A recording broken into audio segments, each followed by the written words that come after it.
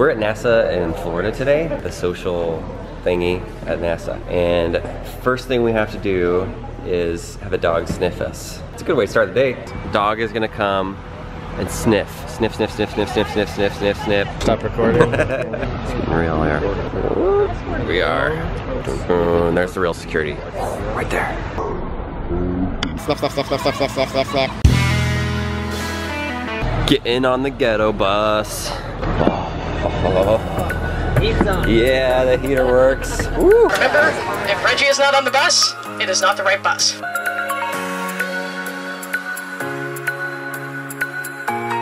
That is the Launch Control Center. That is where the launch director and his launch team conduct their countdown polls. We're in the media room. Meet big camera, little camera.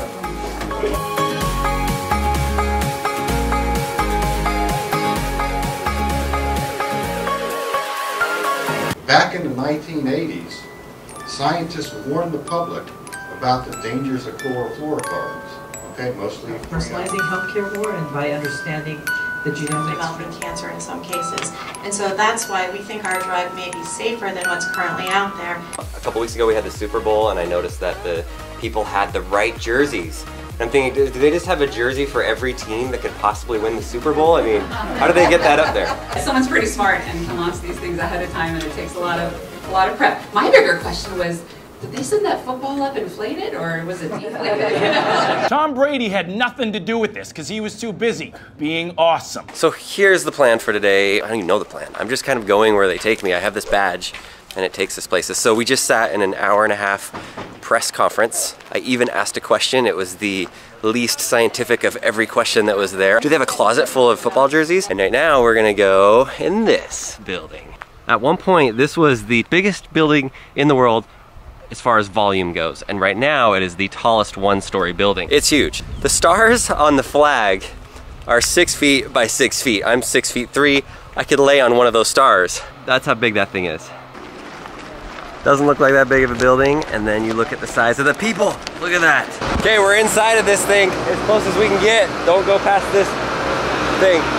This is ginormous. This is where they're gonna build the next rocket that's gonna take people to Mars, possibly. But 10 years from now, go back and look at this, and you can check it out. I don't know why I get to be here. Got stuff open on the internet, and now we get to come to some cool place like this. It's pretty awesome. How's it going over here? That was good. We're Yeah. doing live stream on uh, your Instagram. Yes, and there's still people on there. They like you more than got me. 407. Nice, guys. I hope you had a nice conversation. I just filmed, I'm filming this for the vlog right now. This is where they make spaceships. Look how clean. I call dibs on that office right there. Oh, you see that? Up these stairs, across the platform, and then you're right in there. And, oh no, no, no, matching offices. We could do races. This guy right here is an actual astronaut. He's been up in space many times. That's where space people go. Astronauts. Rocket thing, rocket thing, water. Made it somewhere cool. This is an actual launch pad. It is much bigger than I thought. This launch pad over here, this is the launch pad where that's the actual rocket that should go tomorrow. Every astronaut that's ever taken off in America and gone into space is taken off from that launch pad right there. The flames go on an angle, it shoots down and out. This is part of the track right here. There's two tracks right there, so this one and this one, and of course the rocket would go in the middle. I'm surprised at how wide this space is, right? I shouldn't be, I mean, it's a spaceship. They just shoot the flames out to the ocean. They even have this metal thing that they put in there. Another really interesting thing, these four big antennas that look like they're radio antennas, they're actually lightning rods. And so they go up higher than what the rocket does, and then they have these cables up at the top that are kind of in a hexagon shape, and the rocket shoots right in between the middle of it. That's fascinating, that is smart. Look at this. It's this rock that is eight feet deep. This isn't just some regular rock they get in Florida. This is actually from the Tennessee River in Alabama. This rock is one of the only rocks that does not spark when it's squished together. And when you got a rocket full of rocket fuel, you don't want some sparks. You don't want some sparks. This thing goes all the way down there and then it turns to the right and it goes all the way over to that big building that we were in earlier. That's the trek that takes about eight hours, they said. I just really want to walk on this. They didn't say not to. Here go. Look at that. There's like little tiny ones too. Tiny ones, big ones, smashed ones. Yeah. I don't know. It's a little squishy. i Had to get off, but we got the shot. Yeah. that can't be good for your tires.